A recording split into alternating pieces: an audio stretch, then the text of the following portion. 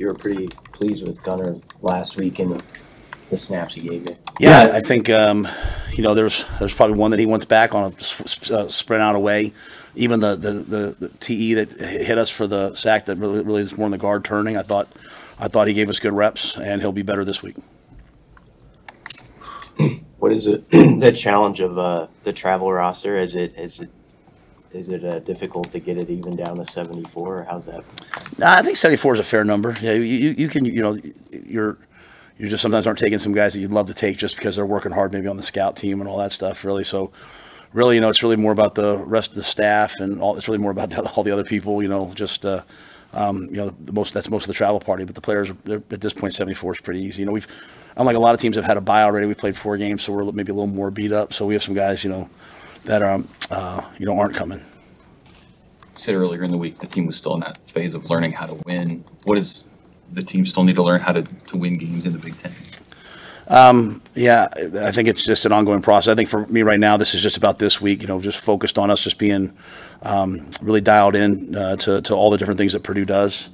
You know, because they've they've really had two different offenses this year, so that adds a, that adds a little bit of versatility to you know our preparation. But uh, what we know is we know Maccabee is as good a player as there is in the Big Ten. We, uh, we know that uh, Card's excellent. They really have a great O line.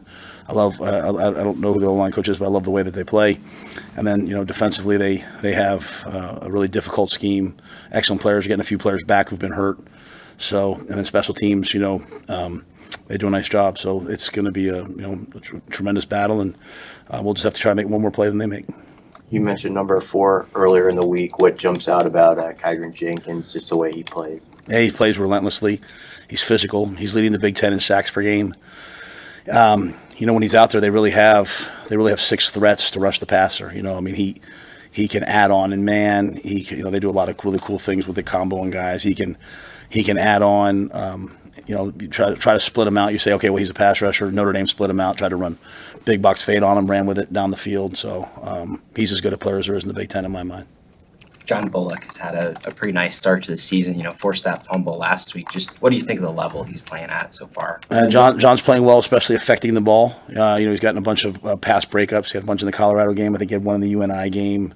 Uh, took the ball away last game. So um, I think he's he's been a real, uh, real, really good player for us so far this year, and uh, we'll need him this week. What have you, have you seen from John Hohl this week?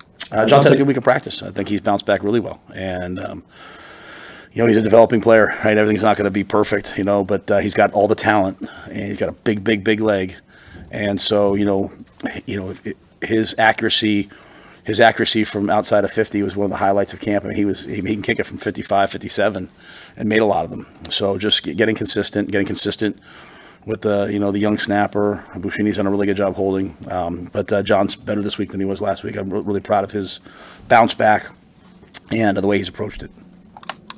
Would you like to play a few more guys on defense against their their running attack this week?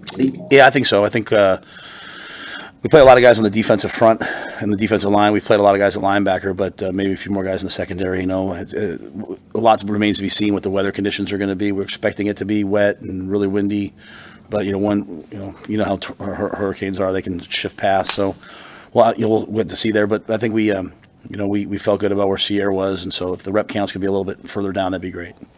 With Tommy Hill, is it just kind of how he's feeling? Is it a, a tolerance thing, or is it? Yeah, it's a pain threshold thing. It's a really, really painful injury. Um, I just saw the other day there was a guy in the NFL who was out for like four weeks with it. Most guys would be out for four weeks. Tommy's just battling through, so um, he's one that you know kind of kind of get to the game. If he can go, great. If he can't, then you know then then uh, you know Ceyair proved that he's a he's, he's a starting level corner in the Big Ten, and uh, we knew that going in. So we're blessed to have that that that uh, depth. Glad was um, out last week. Is he a redshirt guy at this point? No, no, we're trying to get him ready to play. Is there um is there any benefit for going on the road? You've had a lot of these like, you know, marquee matchups here at home, a lot of big support and attention there. Is is it easier to kind of key in on improvement when it's just you guys versus the world on the road a bit? Well, I, mean, I think we've. I think the improvement happens during the week. You know, I think our guys have had a great, great, um, great week of practice, a great week of preparation, a great week of you know honest, you know, evaluation. Staff, coaches, everyone. I think you learn you learn more about yourself when you go through some adversity than when you than when you have success, right? You know, you just it's an opportunity to you know the great ones, they don't just bounce back, they bounce back and elevate. And, uh, we're looking to see ourselves bounce back and elevate.